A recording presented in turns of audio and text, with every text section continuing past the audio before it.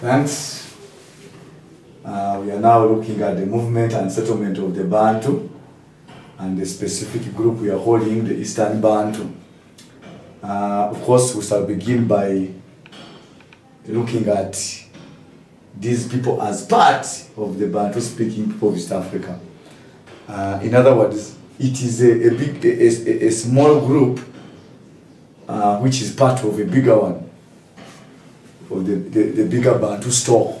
But we are looking at it specifically and being called the Eastern Bantu. And being part of the bigger Bantu group, it means they are part and parcel of the Bantu. But it is a, a specific group known as the Eastern Bantu. Uh, when we look at the migration of these people, history tells us that their migration is not clear. So uh, we are basing on so many theories and it's still a mystery. Mm? It is still debatable. Up to now we are, we are still debating how they did what? They moved. So it's not yet clear. It's not clear. There's a lot of uncertainty.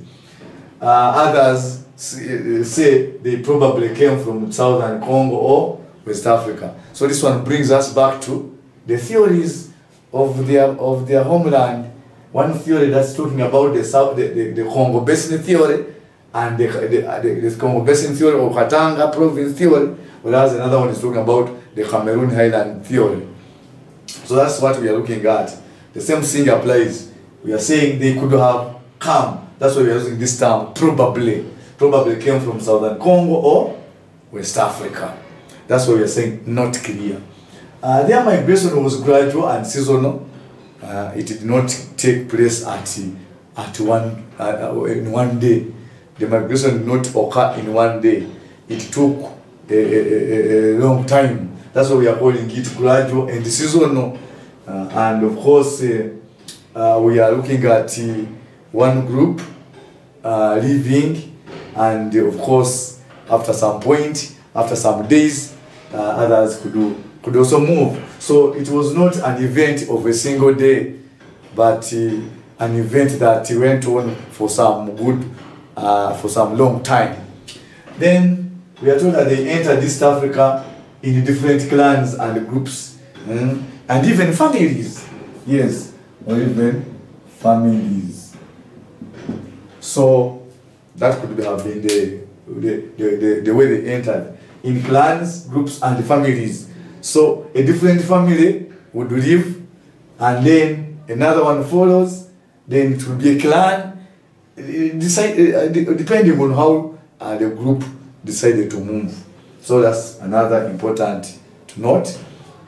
Entered East Africa through the southwestern part of Tanganyika. Yes, that Tanganyikan bend, when you do the East African map, where Tang, the Lake Tanganyika just pe- uh, penetrates to border with the Victoria.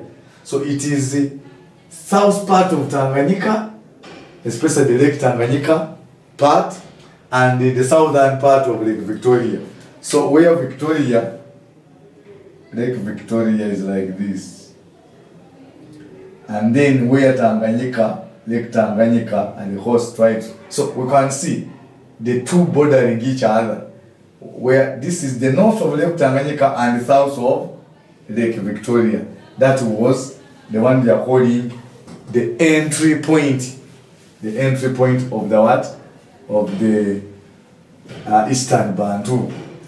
Uh, north of Lake Tanganyika and south of Lake uh, Victoria. That is the, the entry point of these people known as the Eastern Bantu.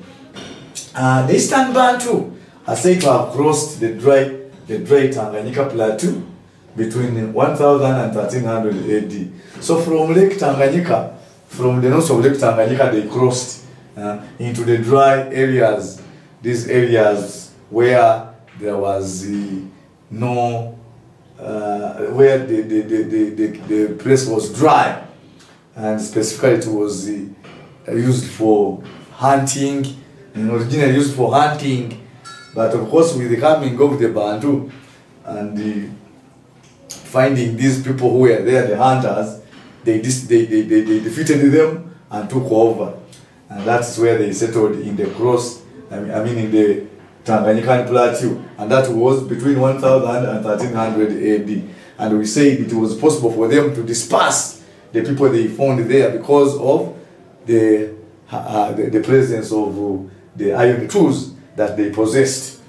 Uh, after that, after crossing into the Tanganyika Plateau, it resulted into the eastward movement mm, up to the Taita Hills. That is because of the demand for more land. As the demand for more land increased, it resulted into the eastward movement up to the Taita Hills, another uh, highland area where they settled with ease. Why? Because the original inhabitants were very weak and were defeated with ease. Uh, therefore, after moving into the Taita Hills, we are told that the Taita Hills now became their what? Their dispersal point. And what do we mean by dispersal? The, the split. It is a split. The group of the Bantu split. The Eastern Bantu split into more other sub small what? Groups. And that's why we see the smaller groups that emerged out of the split include the, the, the, the Pare. So the, as a result of the split, we got the Pare, we got the Chaga, we got the Taita, we got the Samba, the, the, the the Ngueno, and all others that settled around the Taita Hills and the Kilimanjaro Hills. And of course, areas around the hills are very important. One, uh, they have fertile soils, and that's why they settled there with ease. And one of the reasons for their migration was they need to look for areas where they could do what? Carry out agriculture because of the outbreak of famine in their homeland. So, by settling around the Taita and the Kilimanjaro hills, they were very sure that they are now going to have an area for cultivation. Still, as a result of that split or dispersal, we had the Pokomo, Giriama, Segeju, and Nyika.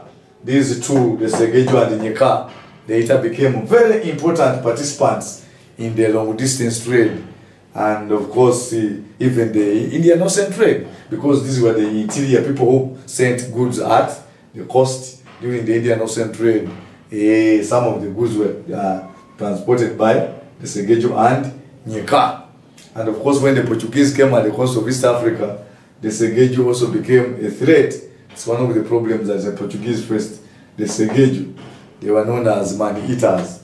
So the Segeju and Nika moved northwards around the coast up to the up to Shungwaya. So you can see this is also because of the need for more land. Mm. You know the Bantu were moving like bushfire. They were eating across the entire East Africa. So because of the split here we saw the dispersal and having gotten all this from the split, the continuous movement resulted into uh, the Nika and Segeju moving northwards around the coast. So they followed the coast and they, they reached a place called Shungwaya. This is in the northern part. This is the northern coast of East Africa, along the coast where we, we, see the place known as Shungwaya. But we are told that while at Shungwaya, that is along the coast, another dispersal occurred. And uh, why did it occur? It was because of the pressure from the notorious tribes known as the Galla. They were unfriendly. By the way, the Galla in history have been, uh, been so rude. These are the same people that were a threat to the early explorers. They gave trouble to jo- Jacob Erhardt and many other explorers that came in East Africa, the Galla. And of course, eh, working, eh, working among the Galla was an impossible mission for many of these missionaries. So the missionaries and explorers had trouble with the Galla. So it is the Galla who made the the the, the Nika and the Segeju to disperse. And what does that one mean? They now the Nika and Pokomo moved southwards because of the pressure from the Galla. They now move southwards, only to be called the coastal and the highland Bantu. Why? Why were they called coast, coastal and highland Bantu? Because they first settled in the highland areas, like we saw, Taita and Kilimanjaro. that one now names them the highland.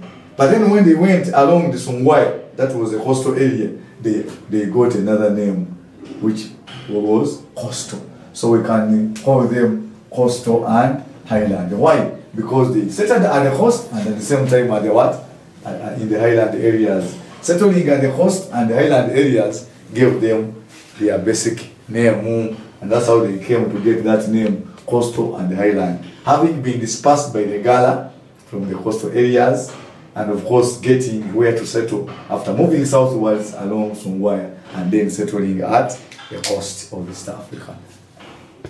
Mm. We continue with the movement and settlement of Eastern Bantu. Uh, another group that later came to settle as a result of the dispersals by the different uh, groups. We have seen the Galla dispersing the Bantu and then later came to be known as Coastal Island. So from the pressure that the Galla created, we find that the Akamba, or call them Kamba if you want, you can call them Akamba or Kamba. This is a group that later came to be very instrumental in the long distance trade. They are one of the major participants in the long distance trade, which occupying the northern uh, trade route. But these people, the Chuka, Chikuyu, and the Embu, because of all those uh, inconveniences created by the Galla, moved to the, high, the Kenya highlands. And because of that, by preferring the Kenya highlands, they came to be known as the Highland Bantu.